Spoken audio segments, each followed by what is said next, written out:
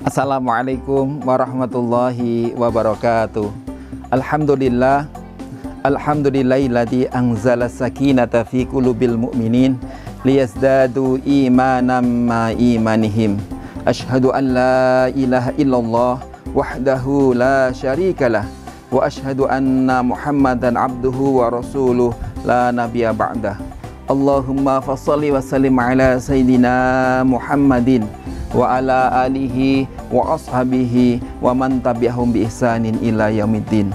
Alhamdulillah segala puji hanya milik Allah Rabb semesta alam yang pada kesempatan penuh berkah ini di Ramadan Mubarak ini Allah memberikan kita nikmat iman, nikmat Islam, nikmat kesehatan dan nikmat kesempatan untuk mampu beribadah di bulan Ramadan yang penuh berkah ini. Allahumma salli wa sallim ala Sayyidina Muhammadin. Salawat serta salam semua tetap terlimpahkan kepada Nabi Yuna Muhammad Sallallahu Alaihi Wasallam bersama para sahabatnya dan keluarganya. Semoga kita mampu mengikuti jejak-jejak Rasulullah dalam melaksanakan Ramadan yang penuh berkah ini. Kakak-kakak dan adik-adik pramuka, warga kota Bogor, para soimin dan soimat, seluruh anggota pramuka di mana pun kakak-kakak dan adik-adik berada. Salah satu keutamaan dan fadilah dari seorang yang berpuasa adalah doanya diistijabah oleh Allah Subhanahu wa taala. Rasulullah bersabda, ada tiga golongan yang doanya tidak tertolak oleh Allah Subhanahu wa taala. Yang pertama adalah al-imamun adil, yaitu pemimpin yang adil. Seorang pemimpin yang bijaksana yang mampu menegakkan keadilan. Yang kedua adalah seorang yang terdolimi, doanya tidak ada hijab antara seorang hamba kepada Allah Subhanahu wa taala. Oleh karena itu, jangan sampai kita mendolimin orang lain dengan perbuatan apa pun karena doanya tidak ada hijab antara seorang hamba kepada Allah Subhanahu wa taala. Yang ketiga adalah as-shaimu hatta yuftiru, yaitu seorang yang berpuasa sehingga dia berbuka. Artinya, kesempatan bagi shaimin shaimat orang yang sedang berpuasa, yang melaksanakan ibadah puasa, harus banyak berdoa kepada Allah Subhanahu wa taala karena kesempatan itulah Allah mengijabah segala macam permintaan kita. Jamaah yang dirahmati Allah Subhanahu wa taala. Banyak orang yang terlena ketika berpuasa dengan hal yang tidak bermanfaat.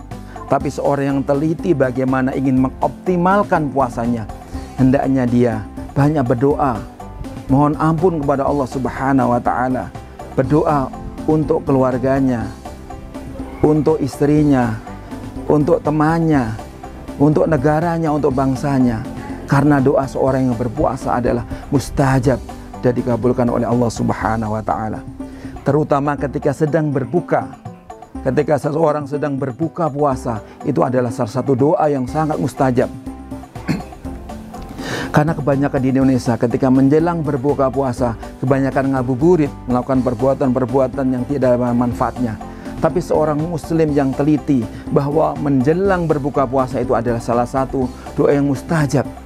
Hendaknya digunakan untuk beristighfar, memohon ampun dan berdoa kepada Allah Subhanahu wa taala agar puasanya diterima, agar dosanya diampuni, agar keluarganya dijamin oleh Allah Subhanahu wa taala memasuki surganya Allah Subhanahu wa taala.